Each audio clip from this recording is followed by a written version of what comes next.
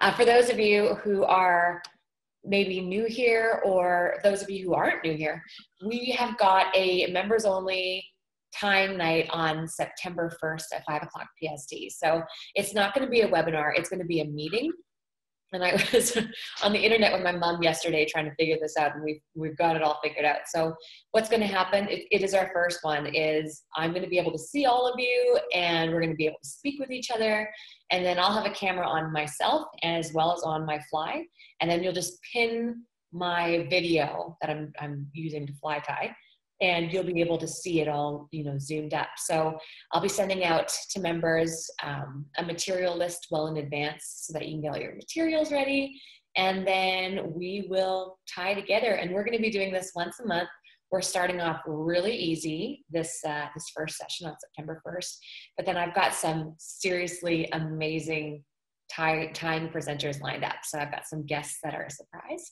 And uh, if you're not a member yet, I'll just use this Al. Al's there. Hey. Hey. So, How are you? Good, thanks. This is just a big surprise. Al uh, wasn't well, and so we ended up finding a, uh, I guess, a, a substitute teacher. Jerry is our substitution. And Al, how's it going? So, are you? You're not presenting, Al, are you? No, but it didn't keep me from tuning in. Oh, okay. So we've got, I see. So you use the presenter um, link. So, Al, what I might do is, oh. um, yeah, that's okay. We can just see you. So I don't know how you feel about that, but um, we will, uh, if you want to, that's okay. If you wanted to use the regular link that everyone else is on so that you can, so we don't see you, um, you can just use the other link or you can um, stop your video if you don't want us to see you so you can walk around or um, lounge in your pajamas if you're wearing pajamas. okay. Cool. All right. so as you can see, it's a bit of a, it's all kind of a bit of a scramble. Um, I wasn't going to make a deal of it, but Al um, ended up getting sick, and we now have Jerry. Jerry, you're amazing for coming on last minute. Thank you. And if you oh, are, no, no problem. If you're not a member, it's not too late to join. Uh, I'm posting the Czech Nymph Masterclass today and our third masterclass tomorrow. And as I promised, once the first three classes are up, prices are going all the way up to $14.99 a month instead of $4.99 a month. So if you wanted to get on as a member, I strongly advise that you do that now because once the master classes are up, um, prices won't be coming back down. But that's it. Let's get started. So um, everybody who's been here knows there's a chat. Feel free to use the chat. I will be monitoring that, uh, chatting with all of you. If you have any questions, please wait until the end, or you can write them now and we will address them near the end. This is a really important presentation for me anyway, because like I mentioned, I want to have this community grow together and become better fly tiers together. So Jerry, no pressure. We are relying on you to help open our eyes and our minds to the fly tying and learn how to get started. All right, sounds good. Hey, uh, Al, sorry to hear you're under the weather and uh, get well soon, buddy, okay? Yeah, I'm working on it. It won't be long. We're getting there. Okay, sounds good. Good, good luck with everything. Uh, the wonderful world of fly tying. Uh, let's take a look at a beginning uh, beginning uh, overview of it. And April, you know, I was thinking about something today while I was putting some of this together, and this is kind of scary. I've been tying flies longer than you've been on the earth. So, uh, Honestly, a long, long time. You've been fishing for, I mean, how long? 50 years? A long time. Yeah, okay. 50, over 50 years, yeah. So I'm not a youngster, but i I'm young at heart. I'll leave it like that, okay? Uh, so let's get started here. And, and we're going to go over basic tools that you need to get going. Uh, and we're going to see the, uh, the, the steps, the procedure of tying, you know, if you had to pick one fly to start with, uh, the one we're going to look at is probably the one that you want to do. So, you know, the heart of tying, fly tying really is, is having a good vise uh, the vise holds the hook We need the vise to hold the hook firmly. Uh, and yes, you can tie flies by hand, and it's been done in the past, and it's kind of a novelty thing more than anything else. Uh, at this point, you know, make it simple for yourself uh, and, and get yourself a good vise. Uh, don't scrimp on the vise. This is a peak vise, which I know April ties on, which I know Al is very familiar with. Uh, and really, I've been tying on peak vices for probably 25 plus years or so, I think, maybe, maybe not quite that long. It's a great product, very well made uh, at, a, at a really good price. So this is a simple, what we would call cam lever action. Uh, basically, we'll see here in a second, in order to lock the hook in place, you just press that lever on the left side down and uh, the hook is held if you have everything adjusted properly. Uh, when you put the hook in the vise, you'll actually see that we do leave a bit of the point exposed so we can get to the back of the hook while we're tying the fly. So we really don't bury the hook point in the vise at all. Uh, and uh, generally, we're going to keep the hook shank parallel to the uh, to the tying surface. Okay. Uh, this is also a pedestal vise, which means it has a heavy base on it. Uh, you can also buy vices that have clamps on them uh, if you are going to clamp it permanently to a table or or something like that. But I think the majority of people buy pedestal vices just because of the portability of them. Uh, I know when I go on trips, I often take a vise with me. I know you do, April. Uh, pretty much uh, a lot of hardcore anglers do. So pedestal vise really seems, uh, you know, to be the most popular design. Uh, this is a little different version of a pedestal vise. This is called a rotary vise. Uh, with this type of vise here, you can see that the uh, line of the hook shank is in line with the center shaft of the vise. Uh, and with that little handle on the left there, you can uh, really hold the material or thread that you're using stationary and you wrap, you turn the handle and that wraps the material and such for you. Uh, I don't know if that's the best thing for beginners, uh, but if you're gonna make an investment and get you know, a top-notch vise right out of the gate, yeah, you might want to consider getting a rotary vise of some sort, uh, especially if you're doing a lot of trout flies. Uh, you know, these, these do come in handy as time savers. Uh, if you're doing multiple, pat, you know, multiple numbers of a pattern, that type of thing. So the, the, the rotary vise does, does have, you know, uh, advantages to it for sure. Usually a little more expensive than that, but again, uh, a lot of really experienced, again, especially trout fishermen, uh, will go and, and go for the rotary vise. And here you see that our little cam action is actually reversed on this one here. Uh, but, uh, you know, the hook really mounts the same way.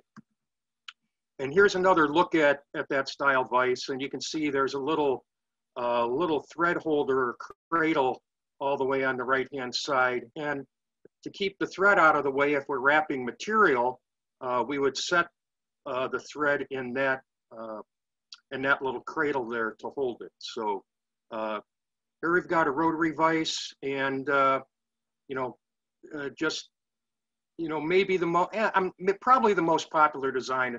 Again, especially for the trout fishing crowd. Now, if you're going to do a lot of big flies, uh, you might want to get something that has a little more uh, better holding uh, uh jaws or just a better mechanism to hold the hook uh, firm for you because really it's very annoying if you're trying to tie a fly, put pressure on materials, get things to hold together and the vise is, or the hook is slipping around on the jaws of the vise.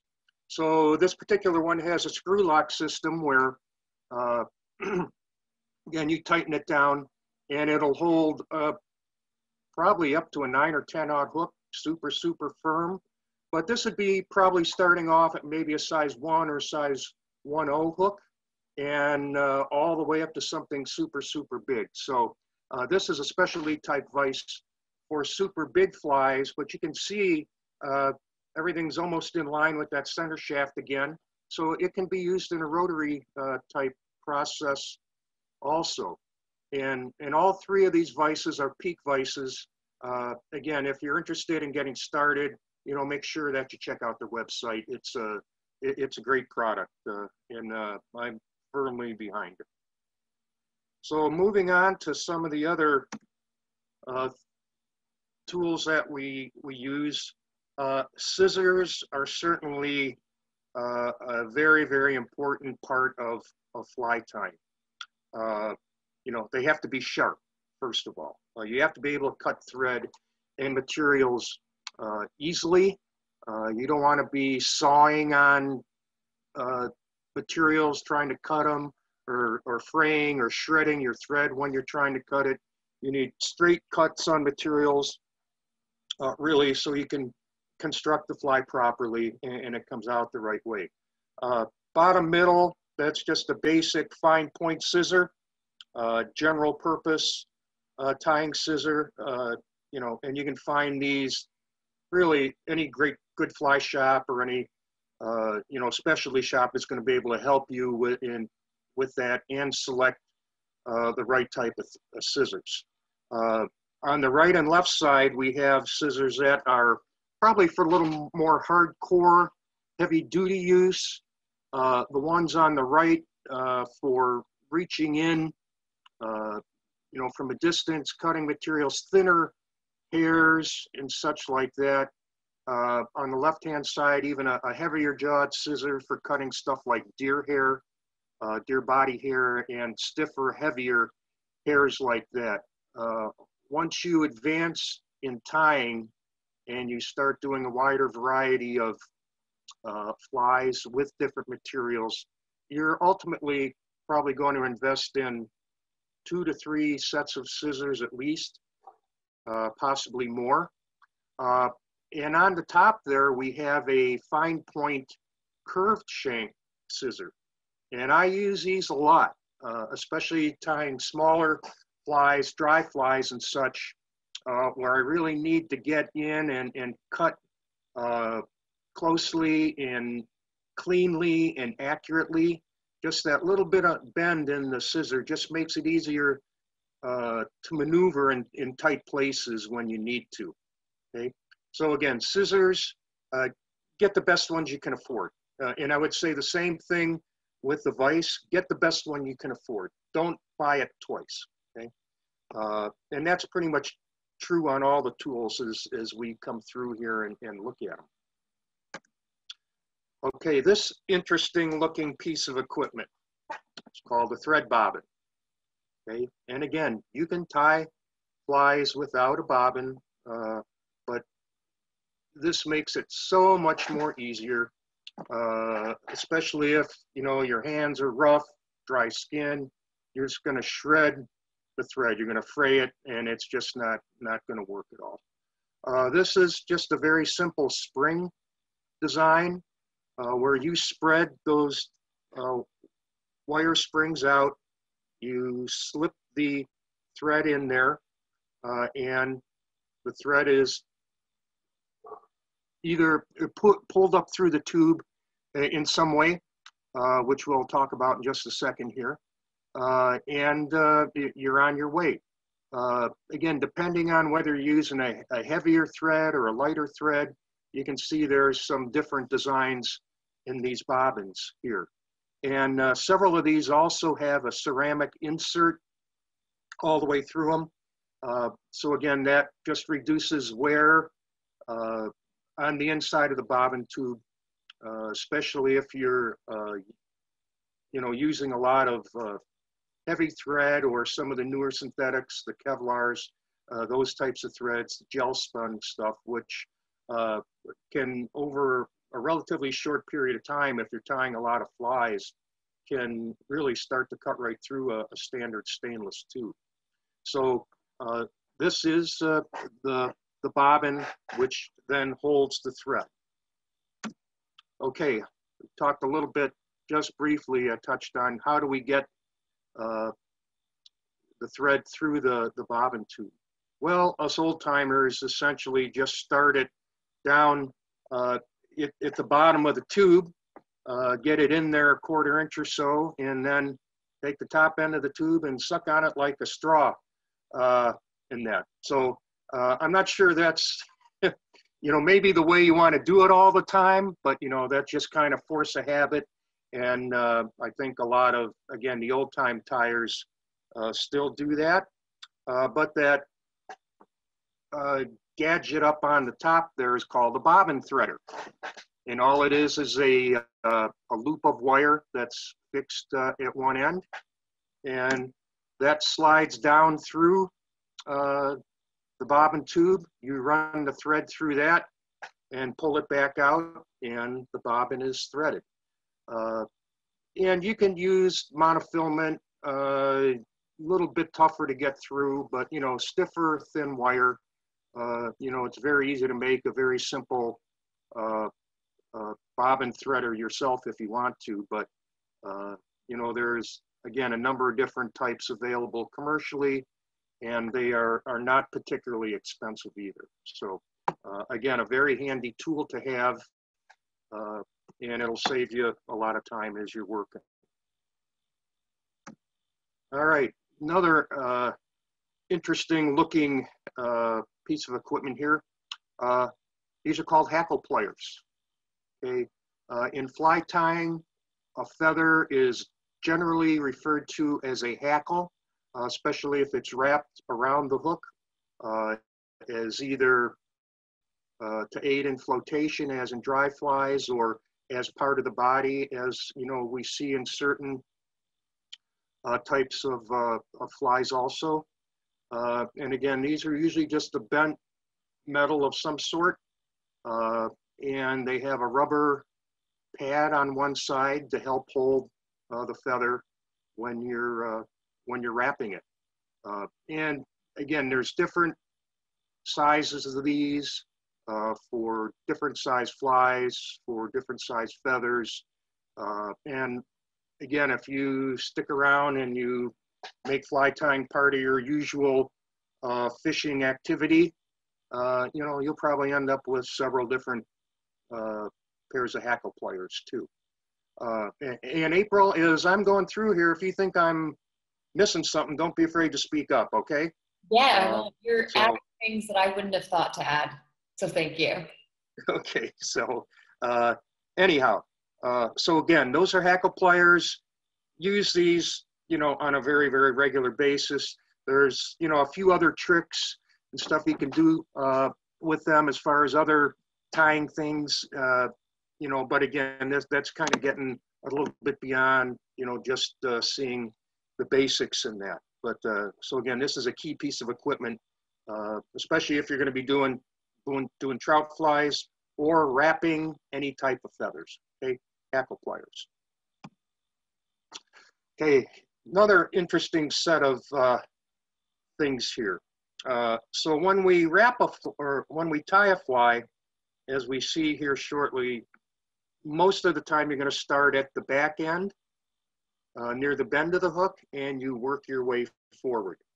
The thread is continuously wrapped. Uh, we don't cut it and splice it, uh, piece it together uh, at all on a regular basis. Okay, uh, and when we reach the eye the hook and we're getting ready to finish the fly off, all the materials are on, and we need to uh, make the thread really so it doesn't unwrap itself. Uh, there's a few different ways, again, and different tools that are used for this. The simplest of these is just by putting a half hitch uh, uh, in the thread, and this is just a wrap of the thread over itself to keep it from unwrapping. And you can put a series of half hitches in at the head of the fly. Uh, it's it's really the simplest way to get started. Uh, series of half hitches and a little bit of cement and the fly, you know, should stay together uh, reasonably well for you. So we'll see this in use here uh, in a little bit, but these are made generally out of uh, uh aluminum, uh, brass, you know, some type of metal. they have a taper on them so that actually the thread will slide off. And, we'll see this put in practice here shortly. Uh, they're usually not made out of plastic. Uh, you know, certain types of plastic, especially once you get around hair or feathers, uh, create static electricity. And you can wrap hair and feather fibers down when you're trying to finish the fly off. Uh, and it, you know, it just adds more uh, frustration into to doing this uh, type of work. So uh, these half hitch tools are generally going to be made out of metal of some sort. And you can see here, uh, you know, we different size hooks will have different size hook eyes uh, in that. So the half hitch tools are usually sold in a set uh, of uh, two or three with different diameters, and even each end of the, the, the tool will have a different diameter on it. So uh, it's can fit on a super wide range of, uh, of hook eyes. So that is a half hitch tool. And again, uh, this is something you'll use regularly, especially as a beginner. Uh, and as your uh, skills uh, develop, uh, you may move on to a different type of uh, thread wrapping tool that we'll, again, we'll look at here in just a second. So here's, you know, kind of a combination tools. We'll see, we'll see some of these start to come into the mix. Uh, the one on top is a, a, a dubbing brush. Uh, and again, it has a little, what we call a dubbing needle uh, on, the, uh, on the end of it. Uh, and when you're working with different furs in particular, we'll often comb or brush those out. and it makes them super translucent in the water, It gives a very lifelike look to them. So uh, a, a, very fine bristle brush uh, is often used. And you can see that one there. I've, I've certainly put some time in with that one because the bristles are just full of, uh, uh, of you know, fur residue there. Uh, and you can do somewhat the same thing with, the with the needle end of it.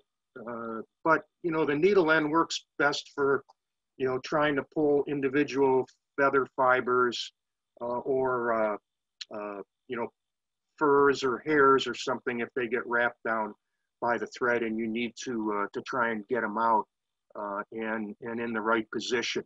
and the other thing, often uh, the needle is used to dip in oh, some sort of like a uh, uh, a cement, a liquid cement or something like that. If we uh, want to add a little bit in the process of tying the fly to help maybe strengthen a point or to wrap uh, the head of, or the eye of the fly when we're completed with it to help protect the thread.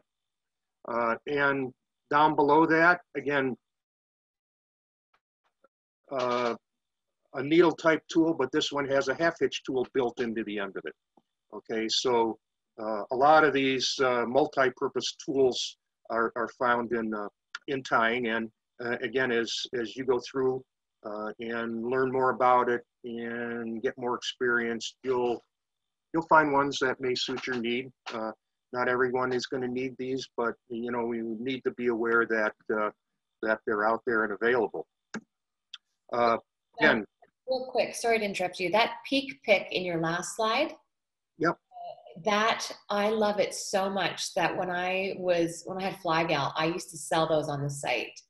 Al, I don't know if you guys still sell them, but that thing there, and I've tried them all. You know, I've tried toothbrushes, barbecue brushes, gun cleaners, you name it. But the way right. that is all set up and just for ease of use and the way that you can grab it and hold it, it's just, I can't recommend that tool enough. Yeah, that, that thing is awesome. And you know, with that, that flat side on it, just so easy to, to hold it and, uh, uh, and control it. And uh, those of you that are not familiar with fly tying may think it seems odd that we're so excited about a little piece of equipment like that. But uh, if you really do a lot of this, uh, and you'll just find a, a really cool piece of equipment or piece of gear like this that really makes things a lot easier for you. And this is just one of those that, that fits into that category. Whoops, going the wrong way here. Sorry about that. Okay, so again, multi multi-use tools, again, there we've got a needle and half hitch tool. And up above there, we've got a needle with a dubbing, or with a uh, bobbin threader built into it. Okay, so, you know, a lot of these tools are combined into two or three uh, uses. And, and again, as you go through and, and learn to tie, you'll find the ones that suit you best. Okay. Uh, you know, other useful tools, a nice fine point tweezer for doing multiple things, uh, picking up small hooks. Uh, if you're familiar with beadhead uh, nymph flies, picking up beads that are laying on uh, on the table, on your timetable. Uh, I mean, there's you know just a multitude of different things that a little fine pair of tweezers like this will will do for you. And of course, on the bottom, just a nice, simple, flat, uh, flat jaw plier uh, that we use to pinch barbs down with. Okay, uh, and you know, pinching down the barb is, you know, just something that I almost automatically do anymore uh, in most situations uh, because it just the hook actually penetrates better and it's so much easier to get out uh, especially on a windy day when cast blows a fly into your ear or something like that. Uh, quick removal, uh, minimal amount of pain. Uh, but again, I don't think there's really a negative, uh, hardly ever, uh, as far as pinching down a barb from a fishing standpoint, just because the hook penetrates so much easier and generally will go in deeper than a, a barbed hook too. So tweezer, uh, some sort of a plier to pinch down barbs, uh, and you're, you know, uh, you've got that covered. Uh, okay, so what is this crazy looking combination of things here? All right, uh, we mentioned that, you know, the half hitch tool is, is great. It works well for beginners to tie off the head of the fly.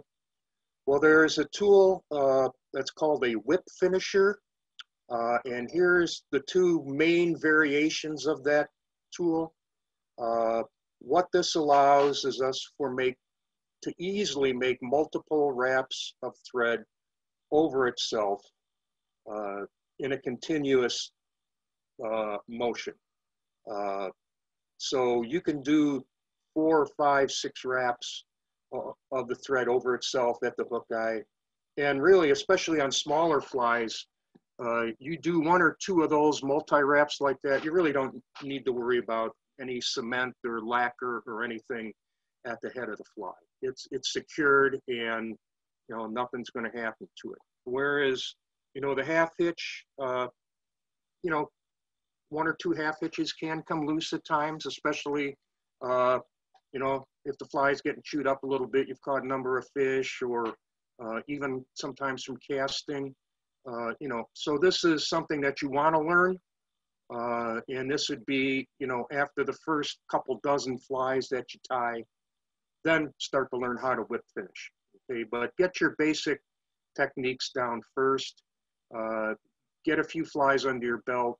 Uh, go catch a couple fish on them to gain some confidence, and then, you know, start stepping up the ladder. Uh, the other thing about the whip finisher is, is it, it makes a very nice, neat uh, knot uh, at the head of the fly, whereas especially with heavier thread, a series of whip finishes, or I'm sorry, a series of half hitches can start to get fairly bulky in that too. Uh, so that's called a whip finishing tool. And uh, as you gain knowledge and again, you start tying better flies, you'll want to uh, learn how to use this. Uh, and there's a million YouTube videos on how to do this with the whip finish if you want to. April, I don't know if you're gonna go over it at all in any of your classes. I'm sure you are. Okay. Uh, so you'll learn how to use this as you get, you know, a little farther down the road. Okay. Okay, we're just kind of looking at a few things here. Hooking the vise. This is how we start the thread. We pull a few inches of uh, thread out. Uh, and just grab it by the, uh, with your fingertips And I'm actually going from the back of the hook. Uh, that's the way I learned how to do it. Uh, and that's the way I've always done it. Some people will push from, actually push from the front of the hook to start the thread. I pull uh, from behind the hook to start the thread. Uh, I'm pulling on the thread bobbin, uh, and you can see I've got the bobbin held down below the tube. Don't hold it all the way up on top because your fingers get in the way and you can't see what's going on. Okay, so try and hold uh, the bobbin down uh, at the bottom of the tube, a couple inches of thread out, and you're pulling with both your right and left hand, a little bit of tension so that everything's tight. You're gonna make some wraps of the thread and take it back over itself. Okay, so you're gonna wrap a couple times to lock it or get it started, and then you're gonna wrap the thread back over itself in order to secure it. Okay? At that point, you can just let the bobbin hang. We take our scissors and uh, clip down close to the top of the hook shank, and you're ready to roll. You're ready to start tying the fly. So that's starting the thread right there. Easy thing to do, but you know, a lot of people seem to have difficulty with it. Uh, keeping tension on the thread when you're wrapping is really the key thing to it, okay? And practice wrapping up and down the shank of the hook a few times. Uh, as you're wrapping with those spring tension bobbins, you might have to just unroll a little bit of thread as you're, uh, as you're tying. Don't try and pull it right off because again, if the thread's real thin uh, and there's a, and there's a fair amount of tension on the bobbin, you can break the thread. But this is good practice. Just go up and down the hook shank. Get used to how much tension you can put on a particular thread you're using. Uh, you know, see how much tension it takes to actually get the thread off the bobbin. So this is just all practice stuff that you can do a couple minutes each time session, uh, but a good way to get started and, and really get familiar with uh, the equipment that you have to work with. Uh, and, and, again, this is the half hitch tool in use. Uh, the thread, the tool is laid on the thread. The thread is wrapped around uh, the tool to the, actually towards the end of the, the half hitch tool and we just slide, keeping tension on the thread, we slide uh, the opening of the tool up to the hook eye, and again, keeping tension, just pull that off, just like that. So there we have a half hitch uh, that's been completed. You can usually get away with doing two wraps of thread, uh, and it'll slide off for you. Any more than that, uh, you often run into difficulties. But uh, finishing off, again, uh, the fly getting started. Wrap thread up and down the shank a few times, get used to the tension on the thread, how much you can put on, uh, you know, feel what the bobbin looks like in your hand. And, and again, uh, the thing about the simplicity of the half hitch tool to get started with, uh, you're laying the tool on the thread, uh, you're wrapping the thread uh, around the tool under tension uh, and putting the open end of the tool over the hook eye and just slowly pulling it off. And you've got a single wrap of thread over itself. You can do that multiple times. Uh, you can do probably two wraps of thread with the half hitch tool and uh, you know, it's gonna hold together for you okay? Uh, if you wanna work with the whip finisher also, there's not a problem with that, but again, some people get it, some people don't. So this is a sure way, uh, really, to be able to, to tie off uh, the, at the head of the fly, okay? So, uh, you know, we've, we've kind of started a fly, uh, saw how to start the thread, we've seen how to finish the thread. So now we're gonna look at all the uh, some of the stuff that that happens in between. And that's all finished off there. So from a freshwater fishing standpoint, uh, a trout for trout, you know, even bass, panfish, that type of stuff, uh, you'd be pretty hard pressed to find a better fly to start with than, uh, than a woolly bugger. Uh, this fly was originally designed in Pennsylvania by a fellow by the name of Russell Blessing. Uh, it was originally tied with a black tail, olive body, and uh,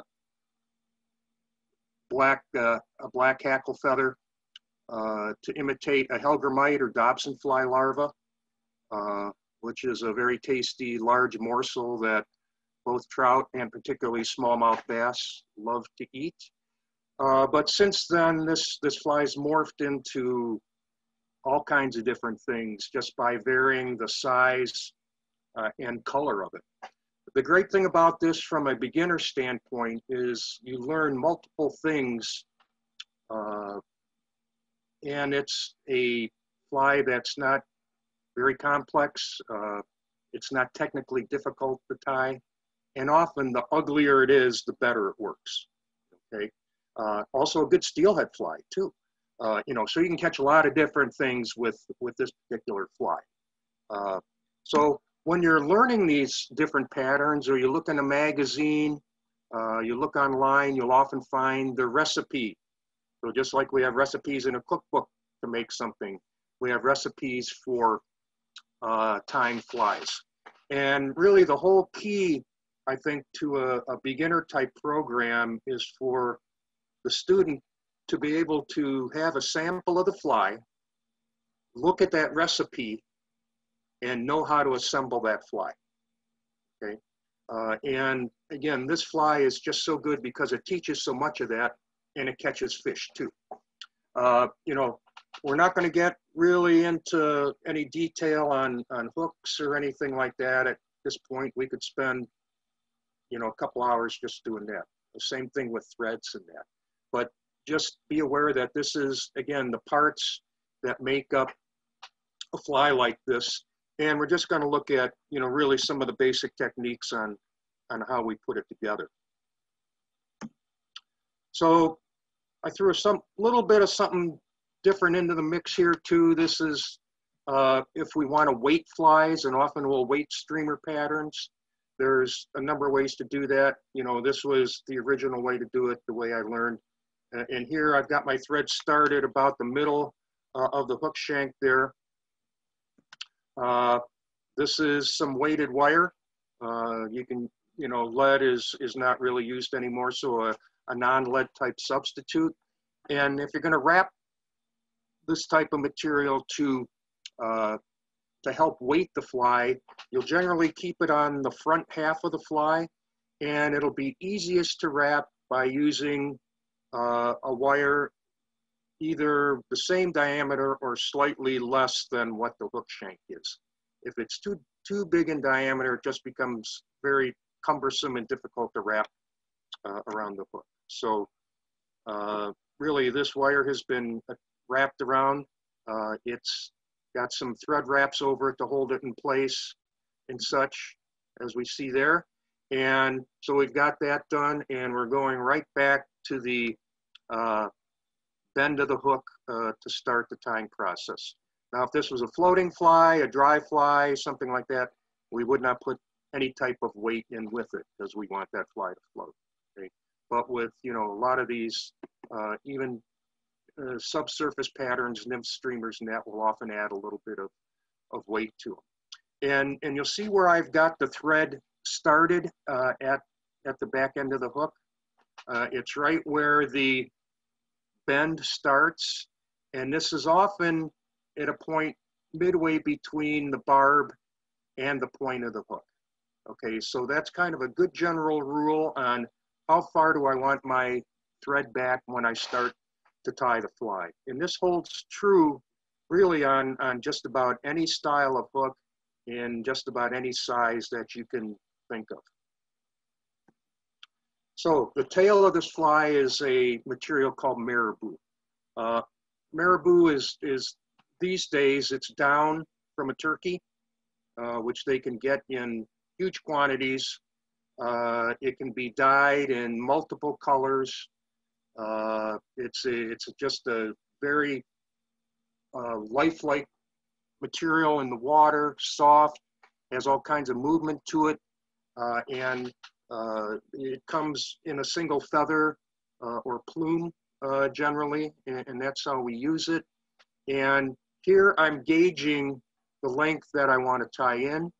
On this particular fly, we're going to tie in the tail approximately the length of the hook shank. That keeps everything in proportion. So I've got that measured.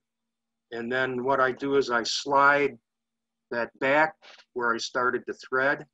I'm going to make a series of wraps over uh, the material to hold it in place.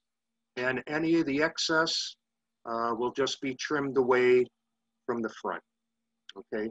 And, and again, this, the step, the process in putting a tail in a lot of flies is very, very similar to this. Uh, the, the way you do it is the same, the material might be different. So what you find in tying is that these different steps are often the same, but you know, we're using a different material to do it. But once you learn these basic uh, steps or the basic procedures, uh, the way the flies are tied, it, it, it carries over to just about everything you do. Okay, so you're not learning something totally new uh, every time. So the tail on this is, is tied in. And if we want to add a little uh, extra flashing on this, there's multiple flash uh, materials on, on the market. This is a, uh, a mirror, a crinkled mirror flash, I think it is, or lateral scale, something like that. Uh, and it doesn't have to be put in this uh, fly, but you'll see this material added in multiple patterns.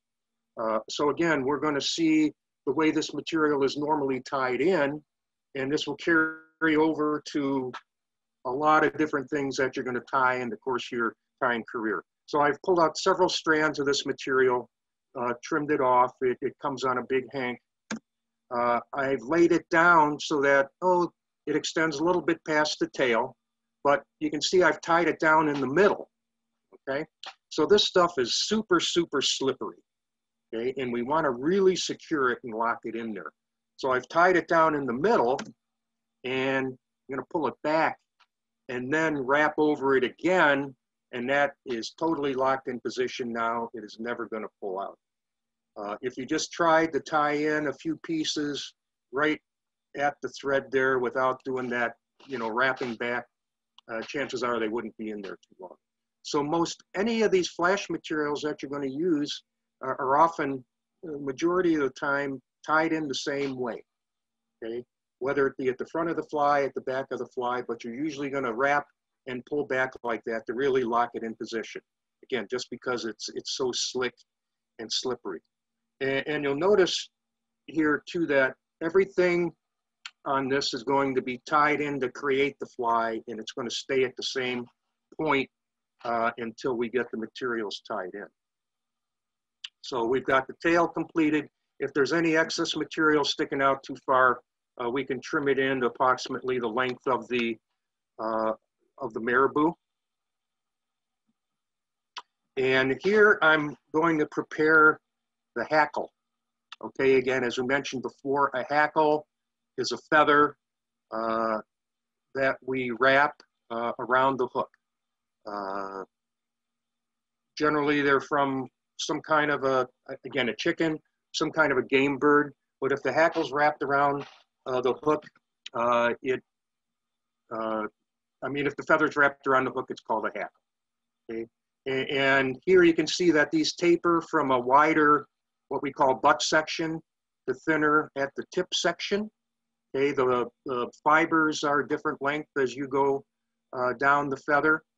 Uh, and again, this varies from fly to fly or what type of fly you're tying, uh, you know, how that feather is exactly tied in. Uh, for this particular fly, uh, this is the way that uh, I think most people prefer to do it, where we tie it in at the tip section here before we wrap it. Okay, so I'm just kind of showing the feather there. Uh, and you can see now I've created, uh, I pulled back some of the fibers, left some forward and kind of create a notch there. Uh, and that notch is laid down right over top of the tail in the flash material. And I wrap the thread at that notch, secure it in place. Uh, and uh, any of the excess or as much of the excess as I can clear out is, is trimmed off uh, uh, so it's not sticking out to the front. And at this point, everything is, is behind, sticking out to the back of the fly. So the next material we're gonna put in, or the next part of the fly is, is the body. And this is gonna be with chenille.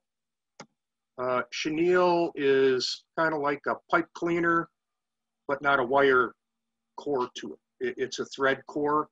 Uh, so this wraps really, really easily.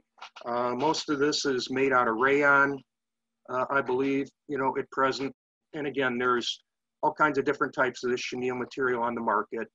Uh, what I've done is I've taken my thumb and uh, uh, index finger of my right hand and just stripped some of the fibers off from the core of the material there to just expose some of that bare thread. And I've tied that in uh, and everything is secured. Uh, I've uh, uh, nothing trimmed everything that's sticking out away from the front. So all the pieces parts of this fly are, are there now and ready uh, to be wrapped.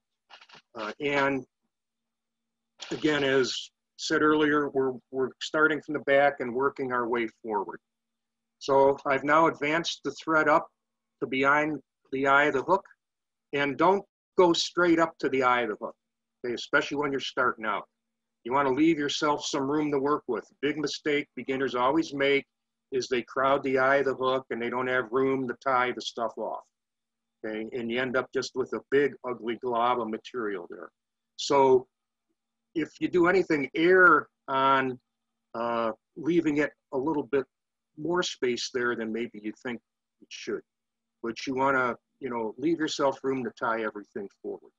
So chenille's out of the back, uh, the hackle's sticking out the back, the tail's in, uh, and what we're going to do is is form the body of the fly.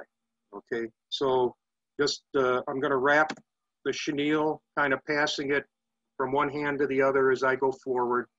Uh, try and, you know, make the body nice and even looking. Uh, you know, you don't want a lot of big lumps or anything like that. You know, try and get it as even looking as you can. You may find that, uh, you know, maybe making two wraps forward and then one wrap over the top will help you even things out. Uh, you'll just have to play with this a little bit especially as you start out uh, in just getting familiar with the chenille. And you can get fine, real thin chenille, uh, medium size, and then really big wide chenilles too. Uh, most of the time you're going to use a medium, especially for a fly like this, which is normally tied on anything from say a number four to a six, eight hook is probably the general sizes on these. So again, the material is just wrapped forward uh, towards the hook eye. And, you know, no space in between the wraps or anything like that. You get up close to uh, the hook eye there where the thread's hanging down. You're going to make uh, a couple wraps of thread over that chenille to lock it in place. And then, you know, I would do three, four wraps anyhow to make sure it's secure. And then you're going to just trim the chenille short and try to push the bobbin out of the way when you're doing that, okay? Uh, otherwise, you run the risk of cutting the thread, and I know none of us ever do that, right? April, we never do that. Uh, but you can minimize that happening by pushing uh, the thread and bobbin out of the way with, uh, uh, with your hand uh, that would be in this case with my left hand uh, while I'm getting ready to trim with the right hand there, okay? So again, you can see we've got a nice, uh, nice clean uh, tie down there uh, and a nice clean cut. Give it a few extra wraps to secure it uh, in place. Uh, and here's a, a spot where if you wanted to maybe add a little more security with that, you could put a half hitch in there. Okay, just again, that's going to lock that thread in case you put some slack in it or anything like that. You know, so uh, there's some people that will kind of in between each step like that put a dab of cement on it too. Uh, you know, uh, they want the fly to be indestructible, okay? and that's one way to do it. Now that's again taking things to an extreme, but you can do stuff like that. Okay, uh, it's just totally up to the individual. So the body is formed on this fly, uh, and that was a multicolored chenille called variegated, uh, and you can see it kind of gives a nice look to it. Uh, uh, again, depending on what you're trying to imitate or simulate, you can find chenille in just about any color scheme uh, that you can think of. Uh, but again, an all black woolly bugger is probably the most popular color that there is, and that'll catch fish anywhere. Okay, now we're wrapping our, our feather forward uh, at this point. And with this fly, we're just gonna space the wraps out evenly uh, up the body. Uh, this feather is, is big enough and long enough. I don't even need a hackle plier to, to use it at this point. Uh, but each time I wrap around, I'm gonna kind of pull back a little bit and kind of get any fibers there to, to really start to stick out a little. Uh, so we really want those out and spread out around the body because this really gives the fly a really good swimming look, a lot of movement in the water. Uh, and the feather is just wrapped up around uh, the body there till we get up to the hook eye or just short of the hook eye where the thread's hanging. Okay, uh, then we tie off uh, the rest of that feather, trim it, and you can see at that point we've got, you know, a few uh, a few fibers here and there sticking out. Uh, and you know, if we want to try and make it a little nicer looking, uh, what I'm going to do there is kind of pull everything back. Ooh, not a great picture there. Sorry about that, a little fuzzy, but pull all that stuff back uh, those fibers back behind the eye, and just make a few wraps of thread back and forth, try and create a, a little neater looking head there. Uh, and then uh, at that point, we can either use our half hitch or whip finish uh, to tie the thread off, trim it, and we've finished our first fly. Okay. So that's what I got, you know. Uh, you know, we kind of went through, I think, the basic tools. Uh, really, what we went through is stuff you really need to get started. As you get into time, you'll find that there is a lot more, you know, tools uh, that you can work with. And depending on what style of flies, like if you get into like deer hair bass bugs and things like that, you, you add a whole other uh, assortment of things into the mix. But for these basic style trout flies, you know, what we did, uh, I think, uh, you know, covered the main things that you have to do. But again, the, the great thing about this particular fly here that, that we looked at the steps on is uh, you're, you're, you're learning how to tie in the tail. Uh, we're learning a little bit about how to lock in these flashing materials. By tying the feather in by the tip, those fibers kind of are oriented to the back a little bit. You know, they kind of cup towards the rear.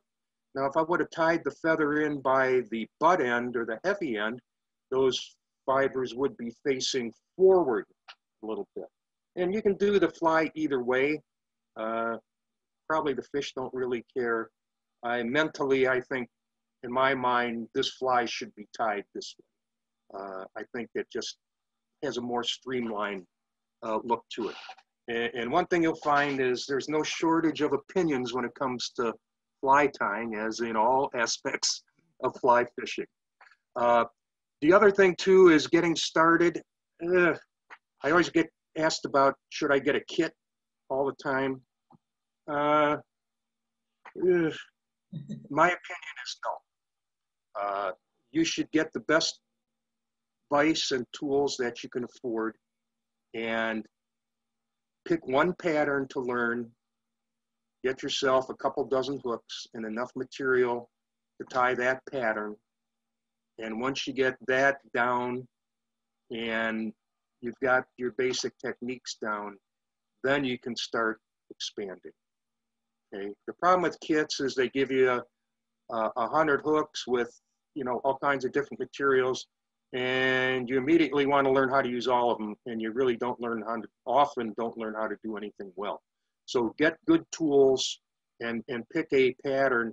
Uh, get a good tools in a in a good vice uh, and then learn to tie a pattern like a woolly bugger, which you're going to be able to use anyhow uh, and it's going to teach you a lot of different techniques very quickly. That's great advice. Yeah. Okay. This is so good, Jerry. I'm so happy. Thank you. Um, oh, I'm, I'm, I'm glad it worked out and I'm glad you enjoyed it. I hope uh, everybody uh, enjoyed it and learned something. There's a lot to learn. Let's go through some questions if that's okay. Sure. Uh, Joseph has said, I am wanting to acquire a second bobbin. Specifically, I've been looking at a Loon ergonomic bobbin product for roughly $20. In your opinion, would this be a good choice or do you have any other recommendations? If possible, I would like to keep costs around $20. I typically use both 6-aught, 8-aught, and on occasion 10-aught threads for the flies that I put. Uh, you know, I think the new stuff that's out from Loon is awesome. Uh, I think uh, that's probably a very usable uh, and good bobbin to have, especially if you're going to be using lighter threads like that and you can make adjustments and stuff easily. Uh, the spring bobbins, like I showed, again, are basic getting started ones. And the thing about them is you can change threads super, super quickly uh, if you need to. Uh, some of the other ones, there's a little bit more in, involved with them. In the casual tier, it may not make a difference, but uh, you know, if you're trying to crank out a bunch of flies and stuff like that, you know, time does make a difference to a certain extent. Uh, I mean, I probably have on my tying desk, there's probably 15 bobbins loaded right now. So, I mean, I just have a bunch of bobbins with different threads that I use a lot. So, uh, but that's an accumulation of uh, you know, several years of doing this too. But uh, just, you know, short answer to her question, I think that's a good choice, yes. Stan wants to know, and this is a loaded question, Stan, is there any advantage to using more or less hackle? oh boy. Uh, Just open this can right now. yeah, you know, uh, good thing I can't show you my tying room, I guess, you know, so, uh, but you know, you can keep things like anything else. You can keep it super, super simple, uh, or it can become a lifelong obsession like it has, uh, like it has for me. Uh, again, this fly we just tied here, you can go anywhere in the world and catch trout on it. Okay, is it going to be the best fly all the time? No, but are you going to be in the ball game? Most of the time, yes. Okay, so uh, I'm going to use that as, as part of my answer. Uh, uh, and it depends on, you know, if you're just going to be a streamer fisherman, you don't need, you know, a, a, big assortment of flies probably. You need a few different patterns and a few different colors and a few different sizes.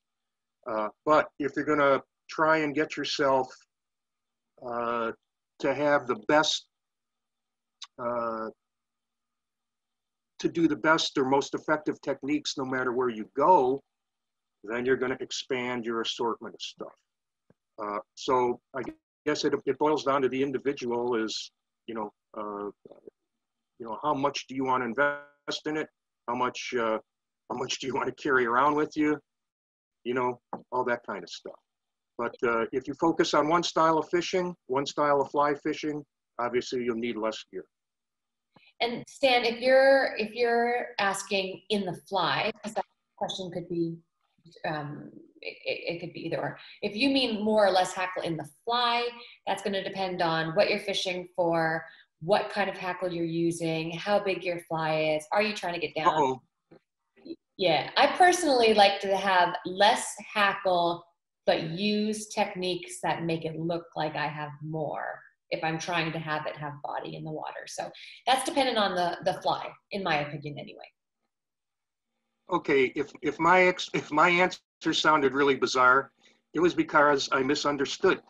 That's I a, thought you said tackle with a T. oh, tackle. Sorry. It's Um, any, not hackle with an H. Uh, more or less hackle. So there's two answers, three answers technically for your question. Um, so we've, co- we've covered a lot of different things in one question. We have. Um, could you tell us what to look for when selecting Marabou? Yes, I can. And especially if this is in reference to our class on September or our session on September 1st. Um, I personally like to have a blood quill Marabou. And what that means is, so when you're going to take it out of the package, and you should do this with most of your feathers, open them up like a deck of cards, give them a little shake and even a just a little blow so that they move and separate. Blood quill marabou has got, it's quite long, like so, and it's got a really long stem that gets very thick at the bottom. But you'll notice that at the top it gets really, really thin. The plumage is super thin, almost like what you see in Jerry's fly here. You see at the tail of this woolly bugger that that tail has marabou that looks very similar to a blood quill marabou. But there is also uh, woolly bugger marabou, and that's kind of the stuff that's wavy and um, what I call fluffy. It looks really great in tails, but it's not going to work great for what we're doing when we tie our marabou leech because we're going to be hackling the leech, uh, the marabou all the way up. And so in that case, we don't want it to be really fluffy and um, full of unnecessary material. So in answer to your question, try to find blood quill marabou. If you can't find it and you can only find trout woolly bugger marabou, that's totally fine. Just take it out of the package, give a little blow, and try to get the one that's got the, the marabou that's got the longest stems and the longest, straightest fibers at the top. I hope that that makes sense. And Jerry, if you want to add anything, please feel free. No, that's, you know, that, those are the two main types that you run across for sure. Uh, and if you're wrapping it as a hackle, you need the, the longer, uh, you know, the blood quills in there.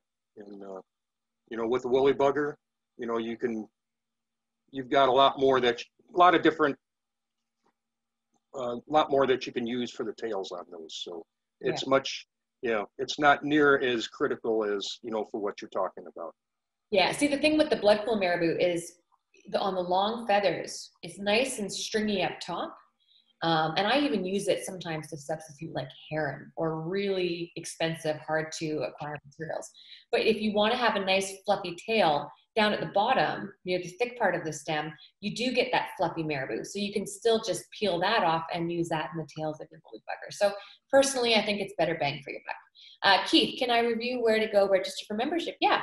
So if you just go to anchoredoutdoors.com, uh, I think there's a, it depends if you're on your mobile or your desktop, but there's a sign up button. And basically what it's gonna automatically do is give you a free three day trial. You're more than welcome to cancel before your payment kicks in in three days.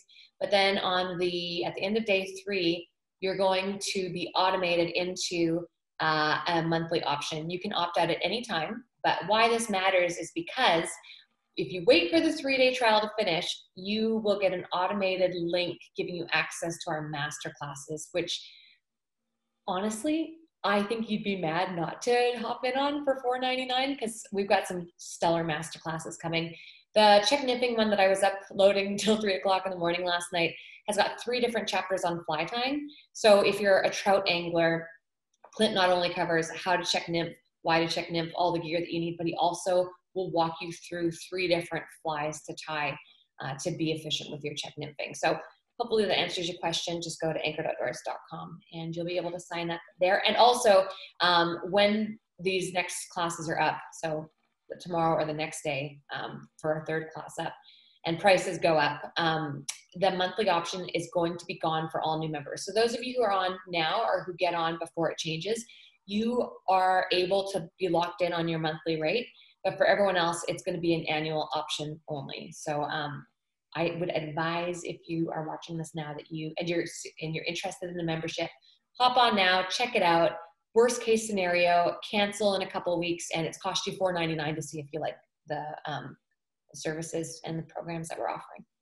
So that's that. Um, any other Oh, Drew, if you join the membership, does that include the fly tying groups? Yeah. So the fly tying groups were an idea from Andrew Jennings. Andrew, I don't know if you're still on here, but Andrew's a member and he had sent me an email when he first hopped on a few months ago. And he was like, Hey, have you thought about doing these members only tying nights? And I just thought it would be a nice extra service. Plus, I really love the community that's growing and you guys keep seeing me, but I don't get to see you. So I thought that tying nights would be great for us to pour a drink together, hang out together, and just kind of get to know each other better and laugh and tie flies with really cool instructors.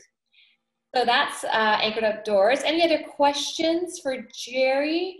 Al, I don't know if you're both still on there, but both of you guys have got excellent uh, books that will help people with their flies. Do you want to just give me a plug quickly, Jerry, as well as you, Al, on where people can find your stuff? Uh, yeah, I've got three books. Uh, well, actually, two on the market now, and, and a new one coming out in October. Uh, that deal mainly with you know the Midwest and Great Lakes area. Uh, but I'm really covering anything from, you know, trout to apex predators like pike and muskie and, and things like that with the stuff I have. One is uh, uh, fly fishing the inland oceans uh, about the Great Lakes. Uh, one is just a beginner's guide to bass and panfish. And the third book I have coming out, which will be out in October, is Fly Patterns of the Great Lakes and Midwest, which covers uh, quite a bit of history up to the present time uh, and has over, I think we counted about 550 patterns with photos and recipes and anecdotal info and things like that. And your local fly shop can get any of those for you. Uh, should be available on Amazon too. Perfect. Thank you. Al, your time is one of the just let us know about yeah. Um, my book is called uh, 25 Best Most Versatile Flies. It's uh, through Stonefly Press. Uh, it's probably available on Amazon. Uh, you could email me at my website, Al Ritt Flies, and uh, we'll have copies of it too. Uh, the title's a little bit deceptive. There's actually, I believe, 89 different fly patterns in there, but they're derivatives of 25 uh, basic flies. Uh, and the, um, the point of the book was really to give you some history on the development of the flies, how they were developed, uh, what spun off of what, and how you can adapt flies to different uses. So we're not talking about trout flies or bass flies or pike flies. We're talking about how you can take a set of tying skills uh, and popular flies and use them in different applications. and there are about 1,300 step-by-step photos on tying the flies too. That's awesome. It's just a beautiful book. Um, I've got one last question. Sorry, Mary Beth has a good point. We didn't explain types of hooks, um, dry versus nymph, one, just streamer hooks, all of that. This is a, a big question that we could spend hours discussing do you just want to kind of give us a basic breakdown about hooks, Jerry? Uh, sure. Uh, boy, uh, let's see. How do we narrow this down? Well, just first of all, uh, we looked at a streamer hook on this just for a couple different reasons. Size is one. Uh, easy to, to learn on, easy to see. Uh, streamer hooks are generally going to be imitating bigger organisms uh, whether it be a crayfish, a minnow, a leech, you know, something like that. Typically a little longer shank, uh, and, and, again, larger size. Uh, dry fly hooks will generally be matched to the size of the insect that you're imitating uh, in most cases. Uh, they're going to be lighter wire to help uh, aid in flotation. and you may find again, you'll, well, you will find dry fly hooks down to very, very small sizes, you know, all the way down to 28 and even smaller. Uh, so they're generally going to be much smaller, lighter wire, uh, and a lot more specific, I, I guess, application you could say. Uh, uh nymph and wet fly hooks, again, are also going to be sized more so to, uh, I think, a not necessarily a specific uh, insect or anything, but maybe a specific type of insect, uh, of which there could be multiple species. Same's true for dry flies too. But dry or wet flies uh, will be, again, a shorter shank hook often, uh, and a heavier wire to help, you know, help the fly sink a little bit too. Uh, so streamer patterns or streamer hooks are bigger, uh, size ranges, let's say on the average from uh, say eight to four or two, uh, longer shank length, uh, often a, a, fairly heavy wire. Uh, dry fly hooks, uh, generally a shorter shank length, a lighter wire going down to very small sizes. Wet fly nymph hooks, generally shorter shank, heavier wire, and generally not as small as what you'll find dry fly hooks for. So try and kind of condense that a little bit into a couple paragraphs, uh, I hope that, you know, answered the question. Perfect. And, and, you know, we will dive into a lot of this as we progress and it'll all start to just become second nature. So I'm going to wrap it up. Al, Jerry, thank you so much. Um, Al, I hope you feel better. Jerry, you are a superstar for coming through last week. well, uh, I'm glad I was able to help you, April. Good to talk to you again. Uh, Al, again, get better, buddy. Uh, hope you're uh, hope you're up and around soon. Yep, it's getting there. I appreciate you filling in, Jerry. You did a great job, and uh, it's good seeing you. Okay, great. Thank you. Thanks, everyone. We'll see you in, in a couple weeks.